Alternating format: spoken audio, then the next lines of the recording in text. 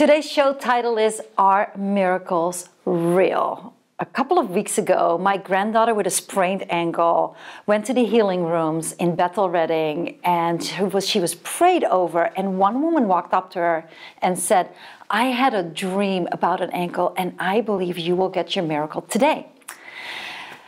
She prayed, we prayed, we all looked in anticipation at her ankle, which, by the way, she went to the hospital for and was in a full cast, on crutches, whole nine yards, right?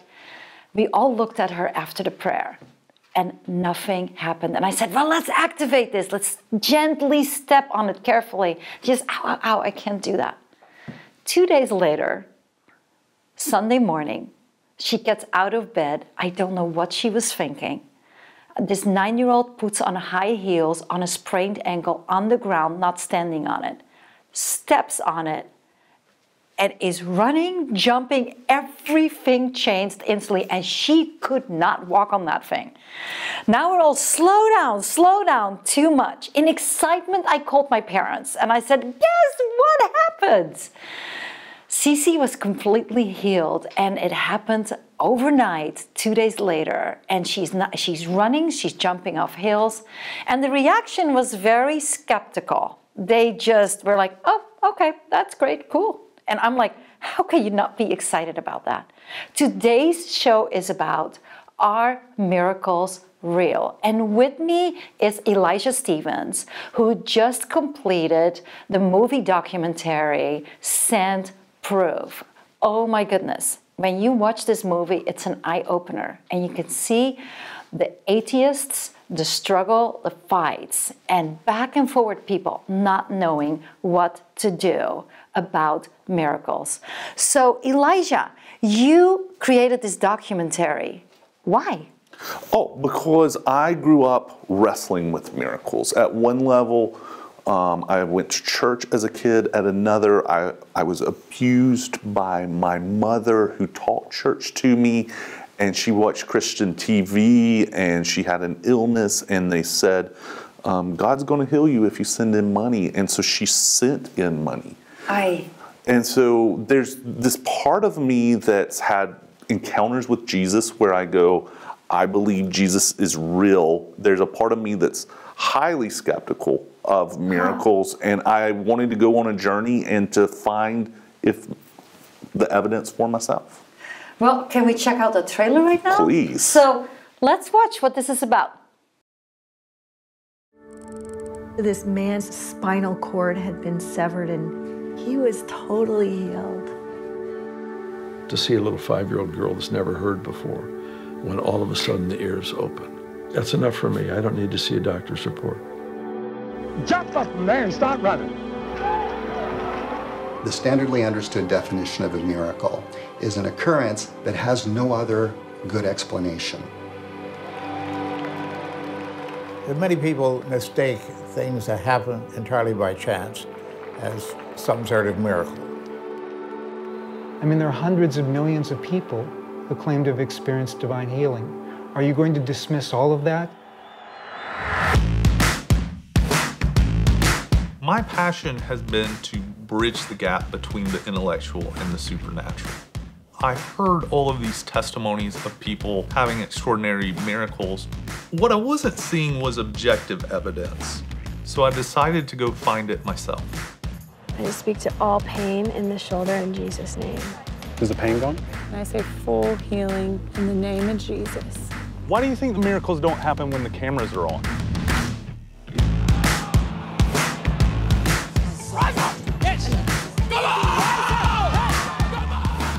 Some testimonies are false. Some testimonies are exaggerated. Miracles don't happen. The moment you investigate them carefully from a scientific perspective, they unravel. Be skeptical. Have you ever seen anything like this? No.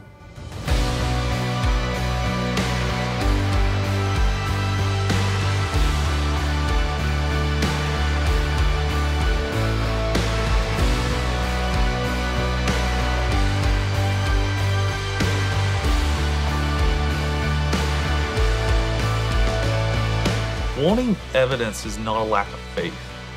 there's power in proof. Two or three miracles are anomalies, but thousands of miracle case studies would change the way we think about the world.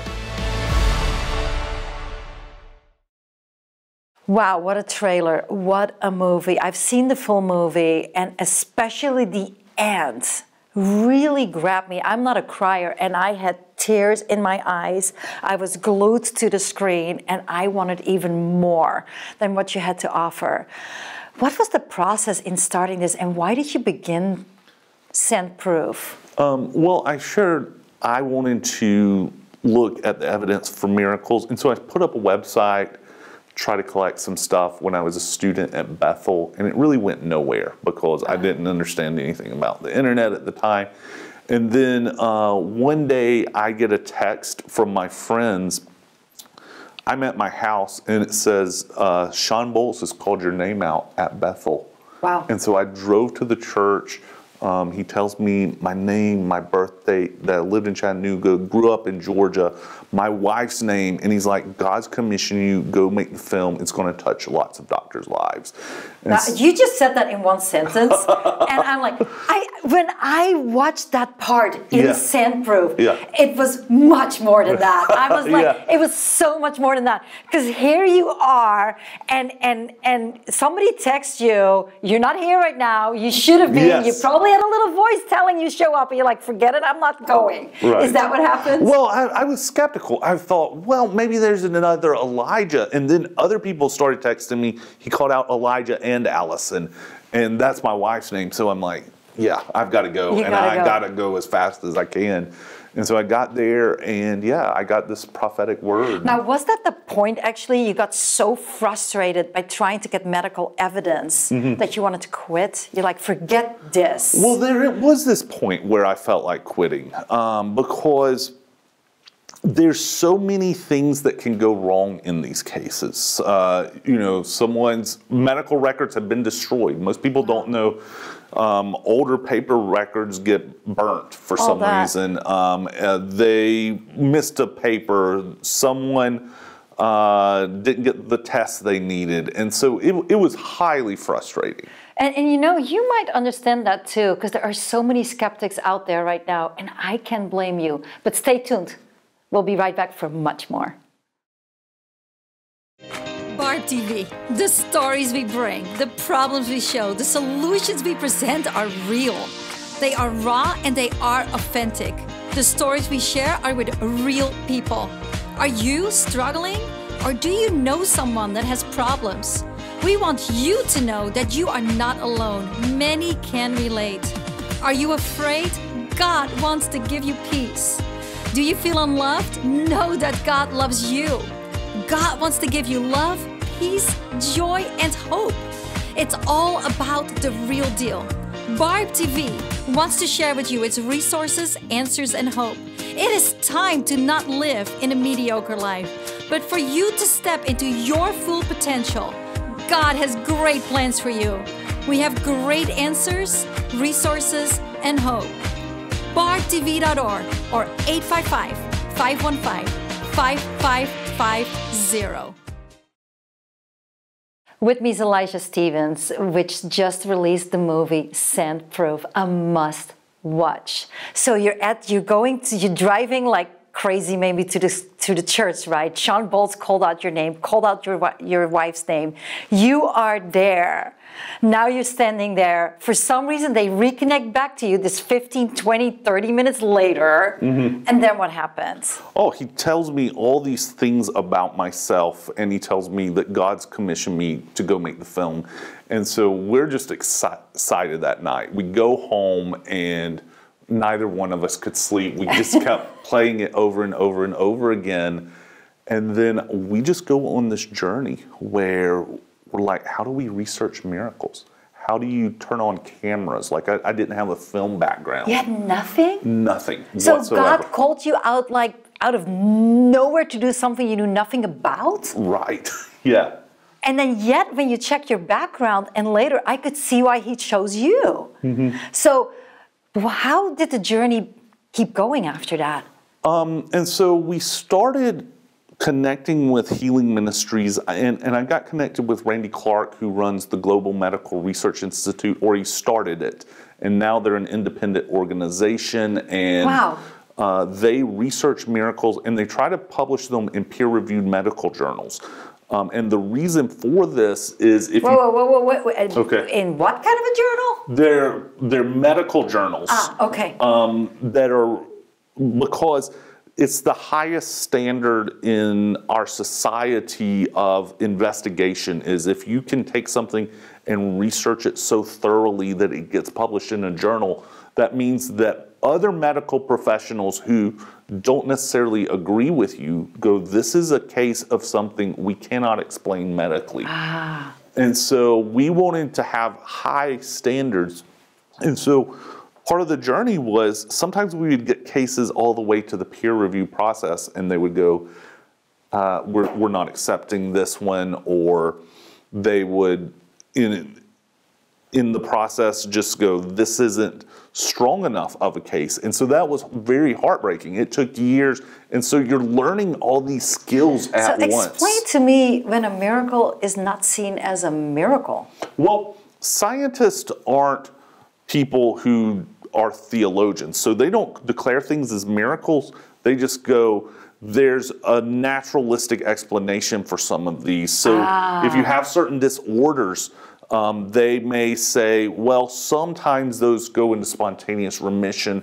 And so we were looking for needles in a haystack, the most rare cases where you go, these don't go in in, into uh, spontaneous remission or have, if they did, it would be highly unlikely for this factor or this factor or this factor. And so we were looking for cases where we know, for the most part, there, there's just no naturalistic explanation. So when I look at my granddaughter, like I Mhm. shared in the first segment, and you know she literally can't walk. Mhm. They said it was not a terrible sprain, but when you saw that foot, I was like, how can you guys say that? The thing looked huge. Went to the hospital, emergency room, was put on crutches, was put in a cast.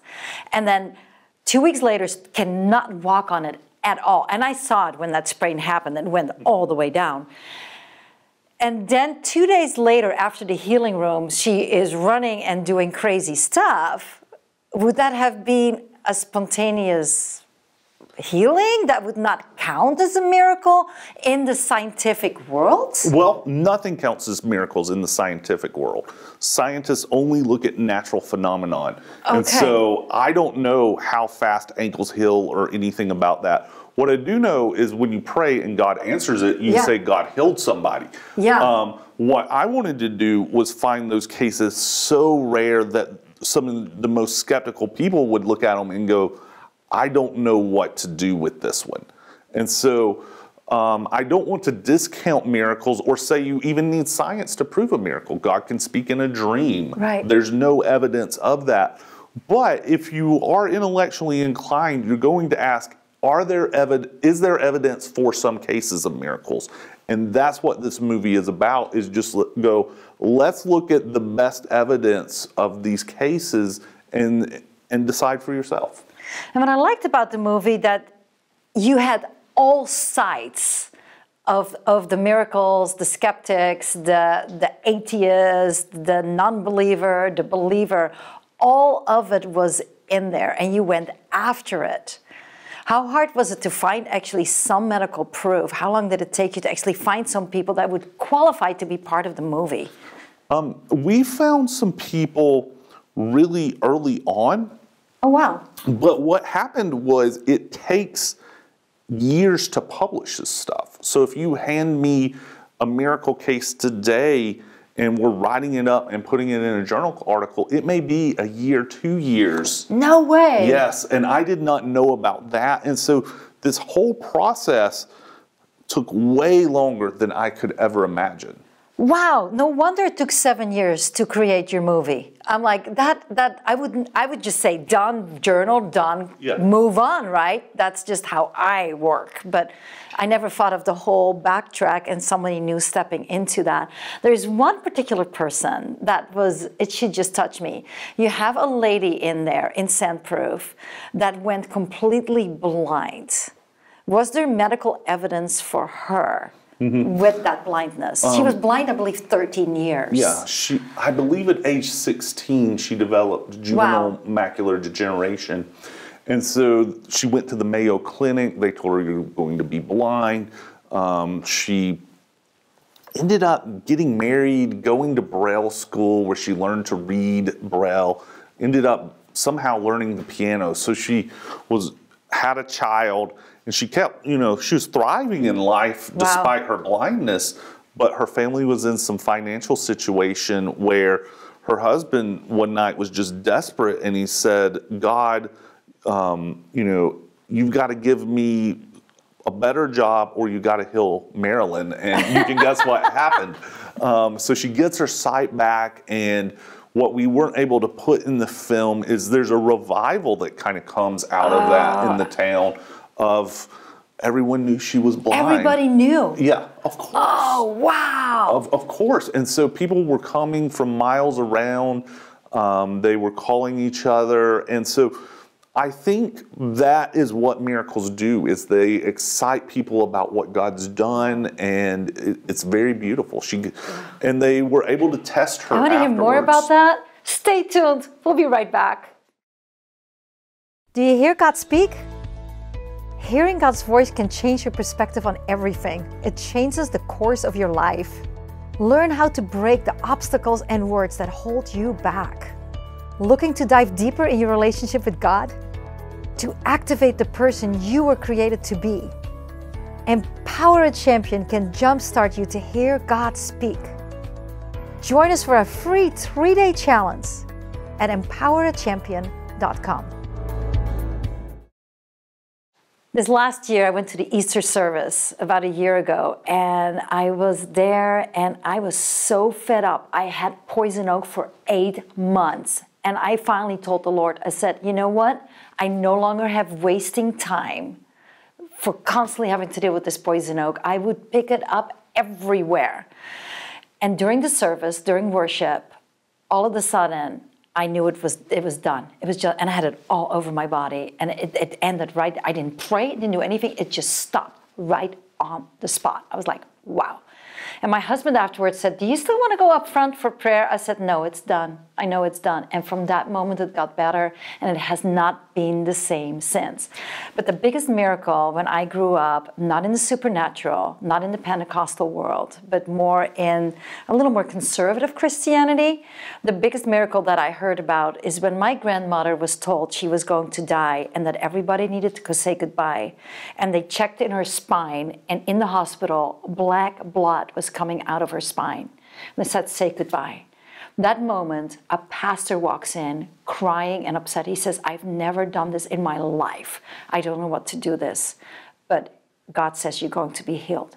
From that moment, she got better. And after a massive stroke, she even started driving a car and lived for, I think, 30 more years. It was something like that, 40 even. And everything changed. We have somebody here today that tried to get medical proof and he got it. You dealt with the blind lady 13 years later. There was medical proof she was blind. You said it started a revival in her town? Yes. Um, so what happened was her husband worked at a bicycle shop, and he calls his boss and he says, um, "Can I get the day off? Uh, my wife just got her sight back." And the guy says, He's like, what? "Yeah," and the guy's like, "No, come in."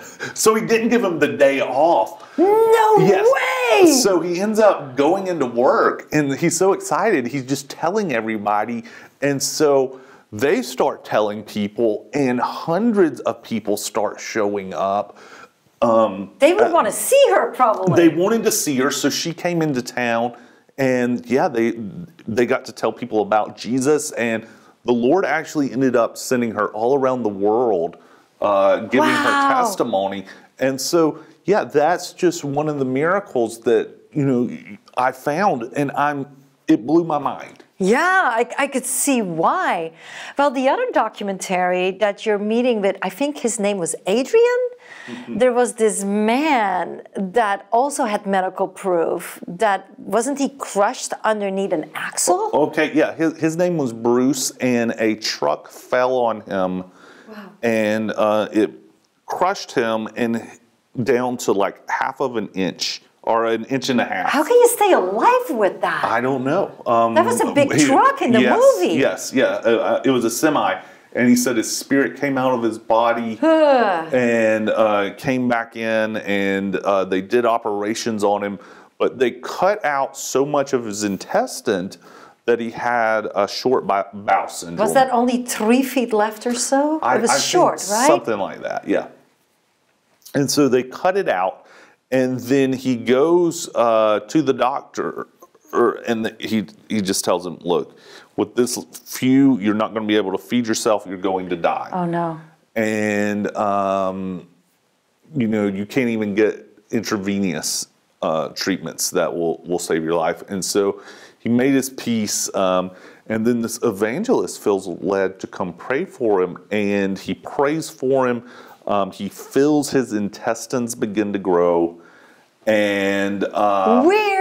Yeah, he feels. like He said it feels like a snake uncoiling in my Ugh. body, and then he, uh, you know, they recheck him, and he, a, a portion of it has grown back. A large portion of it's grown back. He's healthy today, still alive, and he's traveling the world telling people about Jesus. Wow, wow. And all that just, and there is medical proof for Mhm. it. Yeah, there's before and after records.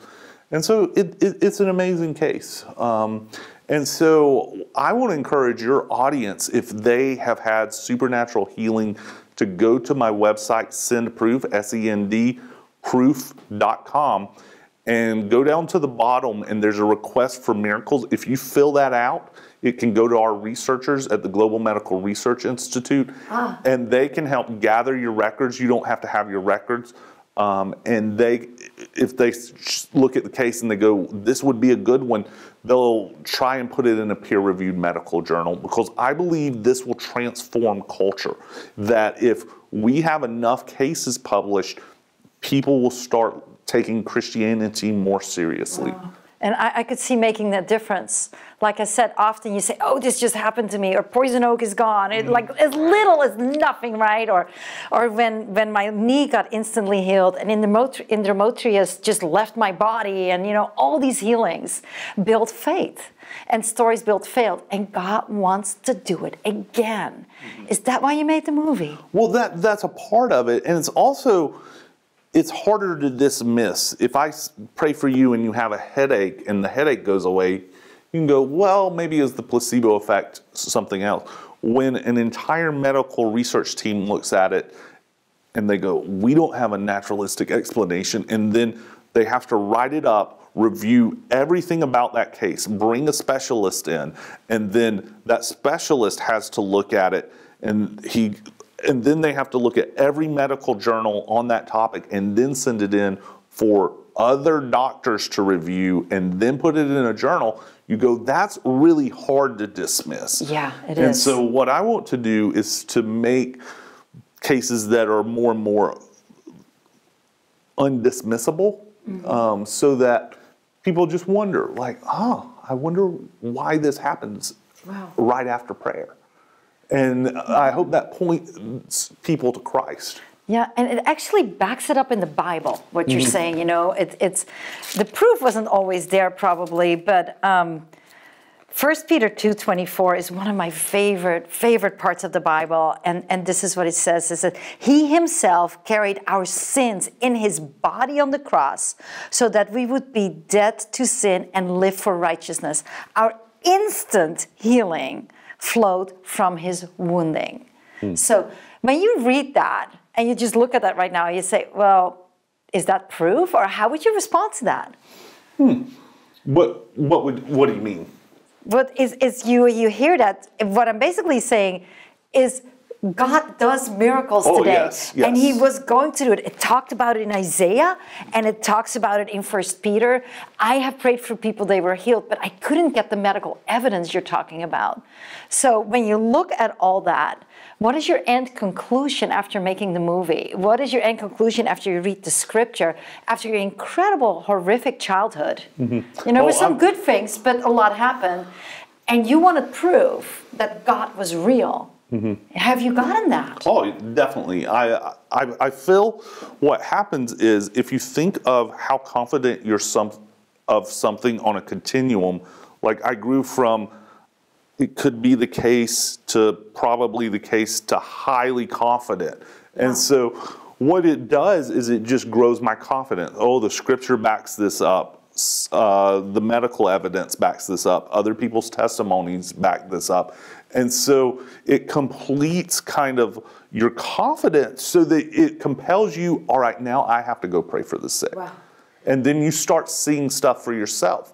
And so that's the heart behind the film it, to eliminate every Christian's excuse for not praying for the sick with expectation. If people want to get a hold of this incredible documentary, which I highly recommend. Where can they find it? You can find it on the Send Proof website, sendproof.com, or Amazon Video right now, Amazon Prime. Perfect. Thank you so much for joining us at the show. Wow, wow, wow. I have seen miracles. I have prayed for people that were healed. Jesus is real today. Jesus is- is active. Go see that film. And I tell you, God loves you. Do you hear God speak? Hearing God's voice can change your perspective on everything. It changes the course of your life. Learn how to break the obstacles and words that hold you back. Looking to dive deeper in your relationship with God? To activate the person you were created to be.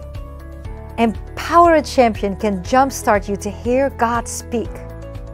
Join us for a free three day challenge at empowerachampion.com. Today's show's title is To Know the Father's Love. I realized that I had had this obstacle keeping me from experiencing God. And Jesus showed me He was in me. He experienced every tear that I cried, every loss of identity and innocence. He experienced it as though He, he was me. And then I was like, oh, I finally feel one with Jesus.